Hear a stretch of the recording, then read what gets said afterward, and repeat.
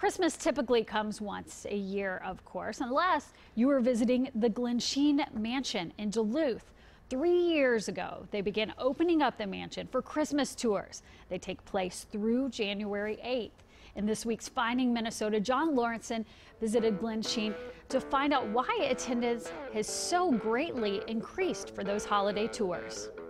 Uh, many people say that Christmas at Glensheen is when it feels the most like a family home. Walking into this mansion always feels like stepping back in time. Here we are, we're walking into the breakfast room. Three years ago, Jane Peterson and her colleagues decided they wanted visitors to see what the Congdon family would have seen when they came home for the holidays. A normal Saturday for the Christmas tour was probably about 200 people. Now we're seeing numbers that are right alongside our July and August Saturday numbers with 700, 800, 900 people. The most wonderful time of year has also become one of the busiest. 25 Christmas trees have been added, along with hidden elves and hundreds of feet of garland.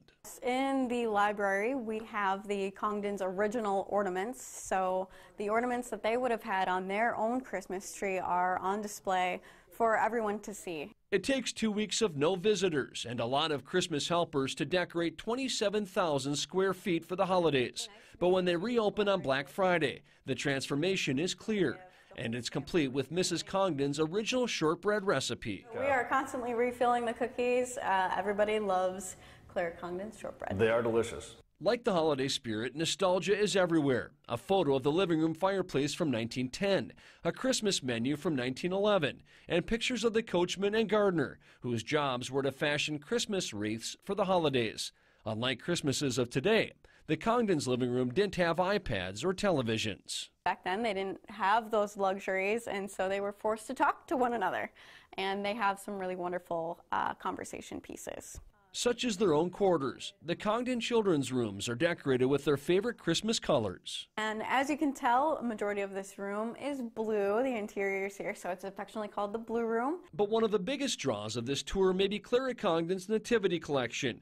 It contains nativity scenes from around the world. Some are more than 100 years old. That looked like it was done in a way that would not have looked out of place at the time when the Congdons still lived here when it feels like the family is home for the holidays and you can imagine yourself like the Congdons, sitting next to the fire, drinking some hot cocoa, opening their presents, being together with family. It is my favorite time of the year. John Lauritsen, WCCO 4 News. Looks so snuggly, as my sister would say. Well, beginning tomorrow through the end of the year, Glensheen will be offering candlelight Christmas evenings.